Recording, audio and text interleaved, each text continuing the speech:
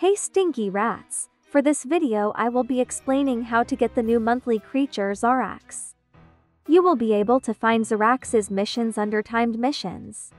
The missions to get this creature for free are, have 25% of all species owned, log in for at least 7 unique days, spin the session or boosted gacha a total of 5 times, recycle 30 species into tickets in your inventory, nest 100 players, find 30 explorer tokens and finally complete 50 different creature mission tasks.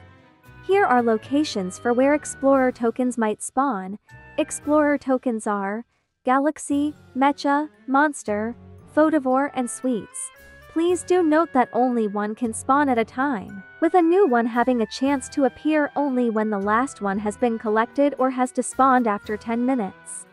There are a total of 357 creatures including Zarrax and Koss, so you will need at least 90 creatures to be able to qualify to complete that mission's task. Most of these creatures could be obtained from regular gachas like the herbivore, carnivore and omnivore gachas for example.